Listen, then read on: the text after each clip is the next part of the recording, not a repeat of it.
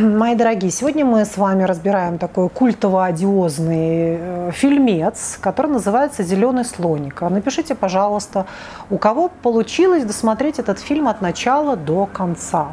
Если у кого-то а, не получилось, напишите, почему не получилось, и у кого получилось, напишите, почему получилось. То есть как вы себя настроили на то, чтобы э, все-таки его посмотреть. Так как это зрелище, согласитесь, не для слабонервных, фильм вызывает такие рвотные позывы, тошноту, страх, какую-то безысходность, да, то есть вот самое что-то такое жуткое, как будто бы в перемешку с, сексуальным возбуждением, особенно вот эта сцена а, какого-то такого орального насилия, она вызывает одновременно вот множество самых разных омерзительных чувств в перемешку с чем-то таким сексуальным вот есть что-то такое даже пугающее, как будто бы ты, ты себе задаешь вопрос, что серьезно, ты можешь возбудиться на это. То есть какая-то часть тебя даже будоражится на этот как будто бы кошмар. И ты вынужден себе признаться, да, может быть, это садистичная часть. То есть какой частью себя я присоединяюсь сейчас к этому жуткому оральному сексу, что совершенно грязному, вонючему, отвратному. То есть это как будто бы ёбля каких-то трупов, э, как будто бы умерших животных, что это что-то такое фарш, кровь, гной, э, грязь, да, омерзение и, и что еще и сексуальное возбуждение, да. И, и, и это, и как бы ты готов себе в этом признаться, да. Вот пишите, что, какие чувства у вас. Вот я сейчас рассказываю, что именно, что я испытываю. Вот всю палитру ощущений. Поэтому я, конечно, могу сказать, вот с этой точки зрения фильм очень сильный. Очень сильный. А ему дали награду как любительскому кино, потому что фильм снят, в принципе, на абсолютно вот такую рядовую камеру домашнюю, непрофессиональную любительскую камеру. И именно это режиссер у нас Светлана Баскова. И именно этого ей удалось, как бы, как будто ты их снимаешь. То есть ей настолько это хорошо а, удалось тебя, зрителя, погрузить в это, как будто бы ты там присутствуешь, то есть ты свидетель этого кошмара. А, когда критики оценивали этот фильм, они оценили его как э, такой антимилитаристский, э, что ли, эм, стёб, притчу какую-то такую, да, что как будто бы автор в некотором смысле показывает бесполезность армии бессмысленность а, вот этих кровавых масс, иерархию издевательств друг над другом вот этот вот отвратный БДСМ, когда старший унижает по званию младшего. И ведь эта ступенька, она же у них бесконечная. Там младший лейтенант, сержант, офицер, командир, да, и вот это вот все, я это точно не знаю, всю эту, так сказать, лесенку, кто за кем следует. Но как будто бы она хочет показать, посмотрите, во что это все а, превращается, какой смысл этого всего – вот эта дедовщина, а, бессмысленная, да, возьми вилку, иди чистить этот унитаз. Помните вот этот вот момент, да? В принципе, какой сюжет? Два, а, значит, младших офицера попадают за решетку за какую-то провинность, так как они два социопата. В принципе, социопатам очень трудно быть в строю и соблюдать какие-то армейские законы, жить по правилам, а на то они и социопаты. Это такие антисоциальные э, личности, которые не любят соблюдать закон. Соответственно, они моментально попадают в кутузку, за решетку, сидят, отбывают там какое-то свое наказание. И, конечно же, не самое лучшее место достается им. Это зеленые стены, помните, какую-то, где они вообще это нашли. Ну, можно себе представить, этот фильм снимался в 90-е, что можно было найти какие-то такие гнилые помещения, все сгнившие, они сидят без еды, без воды, то есть непонятно, то ли им там очень холодно, то ли жарко, то ли что. А течет какая-то вот эта гниленькая непонятная унитазная какая-то водичка, весь фильм, да, и периодически к ним приходит то какой-то охранник с этими волосками длинный, как будто сам какой-то заключенный помогает. Вот не очень понятно, кто он там был такой. И вот этот товарищ старший по званию уходит, издевается, их периодически насилует, побивает экзаменационные какие-то, устраивает им там сессии и так далее. Да? Давай вспоминай исторические там какие-то даты. И если ты, значит, что-то не помнишь, давай я буду тебя бить, издеваться, насиловать. И вот это мы все видим, да, как накаливает, идет на, на накал вот этой, вот этой истерики, и каждый из этих социопатов начинает вести себя тем образом в этой такой стрессовой ситуации, что, в общем-то, по большому счету он из себя представляет. Ведь этот Епифанцев, да, главный герой, очень, кстати, красивый мальчик, да, Владимир Епифанцев, и, и вот он у нас играет с вами такую, в общем-то, лайтовую версию социопата, все равно, да, видно, что если бы он попал в другие условия, вероятно, он по себя и по-другому вел. Но тут, когда он видел, что второй социопат еще более придурок, чем нежели я, он как бы по-родительски, что ли, взял какой-то контроль даже над ним. То есть он, он был вынужден а, владеть ситуацией, держать свою голову в каком-то временном, но рассудке, хоть как-то. Но это было так тяжело. Он вроде бы сначала как-то похохотал над этим, да, убогеньким. Это уже был младший офицер, офицер он был из деревни, да, такой лапоть, значит, вот, вот он сидит с этой бороденкой, рыхленький весь такой. И мы видим, как э, у него есть, конечно же, небольшая такая олигофрения, честно говоря, да, он такой со сниженной критикой э, мужчина. И вот попадая в стрессовую ситуацию такую, у него все больше и больше нарастало психотическое состояние такого более стероидного характера. На самом деле, что один в истерику заходил, что другой. То есть и у того, и у другого развивался этот психоз, но он имел вот такие стероидные формы в том плане, что он стал регрессировать как ребенок. Ничего, я там покакал, я насрал в тапку-то ему. И, я, и вот и чем дальше а, шла вот эта депривация и сна, и еды, и воды, и всего, да, и вот этот страх смерти, насилия, вот этого запугивания, тем сильнее он заходил в это психотическое состояние в итоге, обосрался, насрал в тарелку, да, стал, значит, жрать это говно, мазаться этим говном, мазать стены, значит, разбудил разбудил этого своего братишку, у братишки случилась очередная истерика, и вот этот какой-то сюр, как будто бы страшный сон, дурдом, который длится ну, целую вечность. Причем мы не знаем, может, они там сидели всего там, 12 а, часов, да, но вот эти 12 часов, они превратились в такой ад, для обоих, причем, прошу заметить, даже не для обоих, а для всех четверых. Там четыре человека были задействованы. И, то есть для всех четверых, даже для вот этого садиста, кстати говоря, мы с вами как-то, помните, разбирали очень интересный эксперимент, а, когда одну группу людей просили быть надзирателями, а другую группу людей просили быть э, значит, заключенными. И как у заключенных усиливался такой какой-то э, жертвенный да, синдром, а у э, надзирателей, наоборот, садистичные наклонности проявлялись. Помните, да, вот этот хороший эксперимент? Кстати, вот если я вам задам вопрос, напишите мне, пожалуйста, в комментариях. Э, вот мы с вами играем в игру. Вам нужно выбрать в этой игре, вы будете заключенным или вы будете надзирателем. Напишите, я буду там надзирателем, я буду заключенным.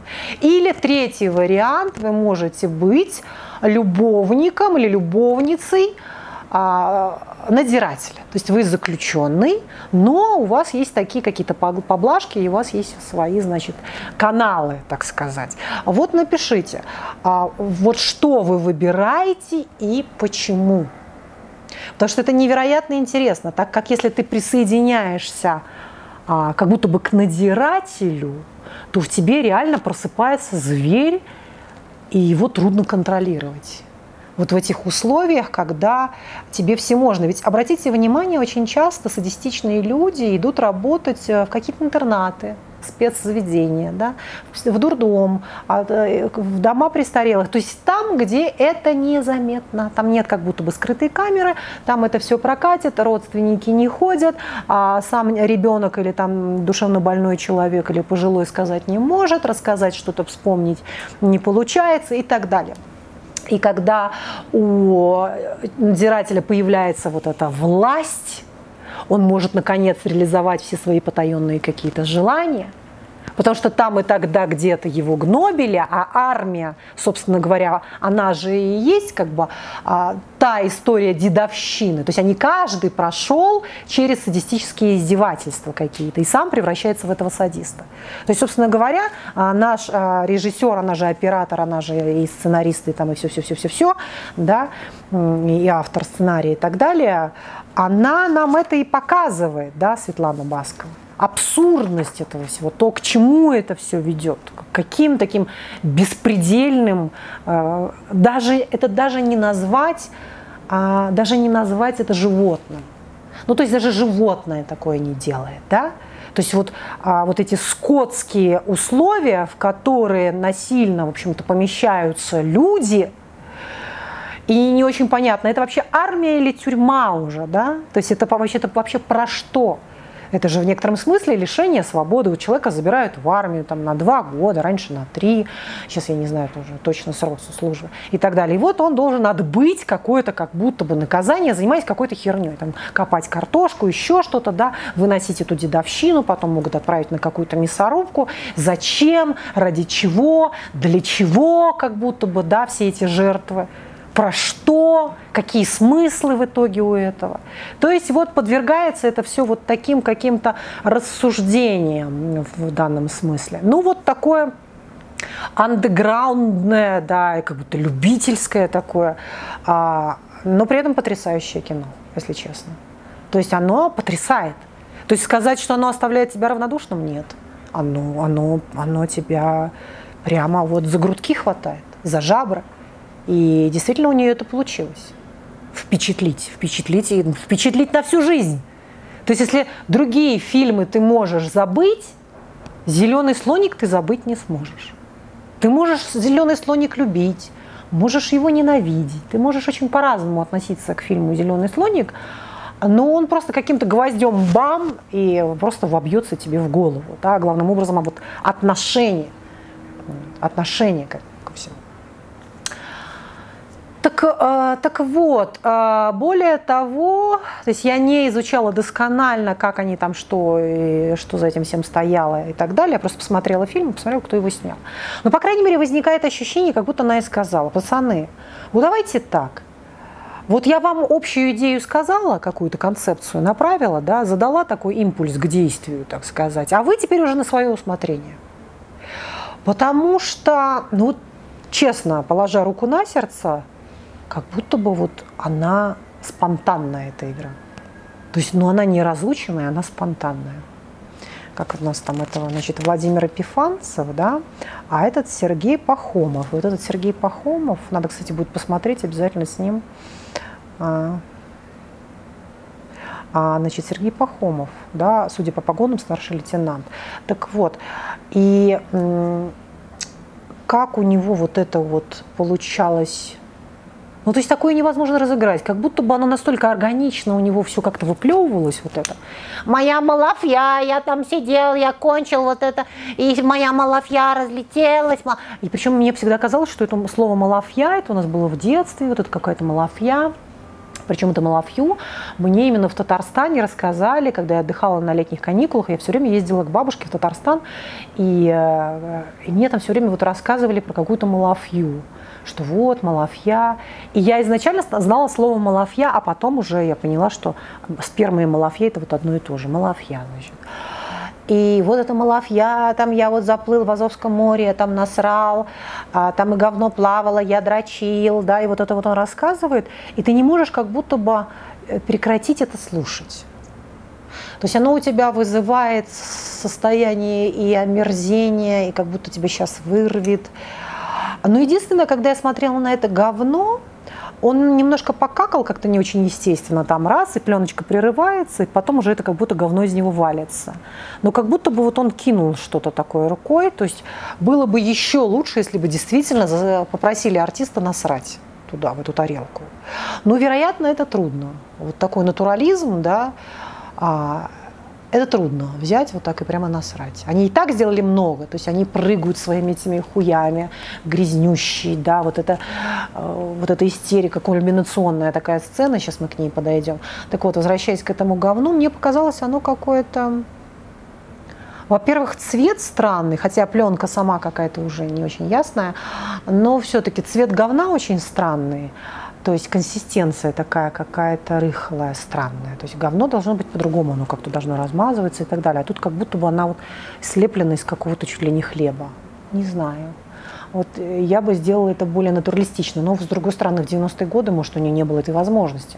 Можно же было слепить из шоколада какую-то колбасину такую более понятную. Вот на моей футболке, кстати, это я купила в Японии в магазине говна. А в, да, музей говна, при музее говна магазин говна. И вот тут кренделечек, видите, такое говно. А, и вот везде почему-то говно, и смайлик, говно и так далее, оно всегда рисуется в виде вот этой какой-то а, пирамидки, да, то есть такая. Но ведь это, как бы, в общем-то, понос по большому счету. То есть это а, то говно, которое будет оставлять следы на унитазе. А говно в идеале не должно оставлять следы на унитазе, а, потому что это говорит о том, что у вас не то что-то с пищеварением. Так мне так странно, почему вы тогда говно везде, во всех мультфильмах, просто везде изображаете именно вот такой вот пирамидкой. Это понос. Вот понос, он выглядит а, вот приблизительно вот так. Понятно, что это бывает вообще понос, когда жидкая дресня, да? Но в целом, если у вас вы какаете вот такой вот э, таким крендельком жидким, это не здорово. Почему? То ли мультипликационные какие-то, то ли мультики так это более как-то красочно это выглядит. Не знаю. То ли вот, ну не, непонятно. Но у меня были такие предположения, может быть, это как бы художник, а, который рисов, как бы придумал эту пирамидку. Может быть, он просто тучный мужчина, а у тучных мужчин обычно они не колбасками такими какают, у них поносик, и он такой по 3-4 раза в день. Они так дрищут чаще всего. У них не бывает обычно запоров у толстых, они именно дресней такой. И, видимо, вот в его воображении говно должно было вот так вот выглядеть. Не знаю. Я все думала, думаю, куда ее приспособить, вот эту футболку, а куда-то надо, думаю, надо ее как-то снять. Думаю, вроде бы я про капрофагов снимала уже, про запоры снимала, про, значит, эм, синдром раздраженного кишечника снимала. О, зеленый слоник – как раз вот вы мне, Вероника, сними зеленый слоник, причем вы мне этого зеленого слоника просите снять уже 300 лет подряд. Я думаю, точно, надену, вот, когда надо будет снять зеленый слоник. Так, а что еще мы с вами, значит, разберем? Так, так, так. А, ну вот кульминационная, совершенно жуткая уже сцена, да. Причем обратите внимание, что характерно, когда братишка, это который более вменяемый, зашел э, вот в этот карцер, да, у него первая мысль возникла сесть под эту пытку, под эту капельку, которая должна по а, как бы исторической логике, что раньше была такая казнь, э, человеку, которого казнили, издевались над ним как-то, да, капала капелька, его привязывали, и вот эта капелька в какой-то момент казалась ему кувалдой, сводившей с ума. Человек просто сходил с ума и вообще погибал в результате. То есть фильм начинается с того, что он садится под эту капельку с желанием как будто бы сойти с ума. То есть автор сценария в некотором смысле показывает, что человек собственноручно может идти в это безумие. Зачем тебе? Да? И вот тут вот по многослойным таким параметрам можно сказать в данном случае, как автор сценария хотел это подсветить, и как непосредственно сам наш братишка. Да? То есть он хотел этого безумия, он хотел этого сумасшествия. И вот он вначале как будто бы разряд, это была как разрядка у него, орать на этого поехавшего. А как будто бы желание как бы почувствовать эту власть и свою силу над более слабым. А, да, соответственно, а, над, над слабым. И это мы вот видим. И в итоге-то он и добивается того, что он сходит с ума. Он сходит с ума от всего этого. Да? Настолько его это как-то впечатлило, что он это не выделил. Он, он и так, социопаты, они и так сумасшедшие. Они и так сумасшедшие, да, это, в общем-то, а, расстройство личности, но это грань, одной ногой они стоят вроде бы в норме расстройства личности, это патология характера, вспоминайте, а другой ногой они стоят э, в дурдоме. В принципе, их можно, их периодически госпитализируют. Почему? В общем-то, можно его отправить как в тюрьму, так и в дурдом. В дурдоме э, социопатов лишь шквал. Потому что очень часто и в коморбиде у них идет и биполярное аффективное расстройство, очень часто, на самом деле мы это можем видеть. И не только. Они э, легко заходят и в психоз. Посмотрите, как легко они зашли в психоз, один и другой. Ведь когда они служили в армии, они более-менее были адекватными. Вот и все. Много ли, как говорится, много ли надо было? Буквально там небольшой триггер, все, и они зашли уже в психотическое состояние. И вот началось это какое-то насилие, да, зашел этот старший к ним, опять он что-то начал издеваться, учинил вот эту расправу, оральное какое-то наказание, да, насиловал его, а, и и вот так, да. И вот этот братишка не выдержал, он его изгрыз и изнасиловал его, эту какую-то гортань там выдрал, и что-то он там этой гортанью размахивал, эти кишки распотрошил, и вот это вот, и все. Вот. Весь вот апогей всего самого страшного ужаса и кошмара. Вот, вот каким ты можешь вообразить себе фильм самым ужасным? Вот он вот, он вот такой. А еще, как бы, если бы это был просто какой-то фильм ужасов голливудский, то ты понимаешь, что это все неправда, да? А тут вот эта любительская камера, она настолько тебя пугающе трезвит, она настолько как будто это вообще происходит вот, вот прям вот на вытянутой руке. Ты прям там сидишь, да? В этом и есть плюс этой камеры. Кстати говоря, вот у меня возникает ощущение снимать, что я сама буду снимать кино скоро, и тоже буду брать и буду снимать. Кстати говоря, когда я написала в себе в Телеграме, что собираюсь снимать кино, а, а поскольку у меня, у меня так много сюжетов из моей жизни и каких-то клиентских таких э, случаев, да, интересных, что вот это все можно замесить и сделать абсолютные шедевры.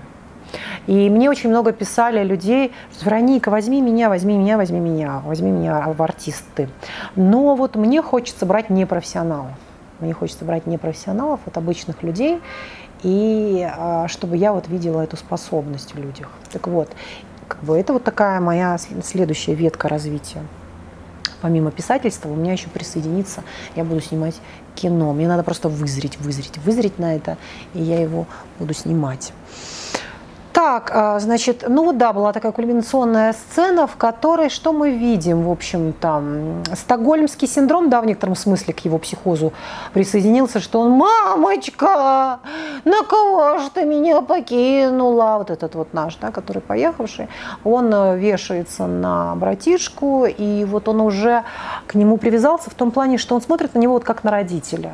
Очень часто же, когда жертва, жертва любит своего садиста за то, что тот проявлял вообще в целом внимание что он как-то его контролировал, регулировал, да, что какой-то как будто бы брал ответственность. Почему, а, помимо того, а, что нужно выжить, да, нужно же выжить, и как бы этот синдром формируется на том, что психическое спасает хозяина психика, психики в том плане, что она ему внушает, что все хорошо, этот человек тебя любит, и ты его любишь, вы вместе, потому что вам так нравится.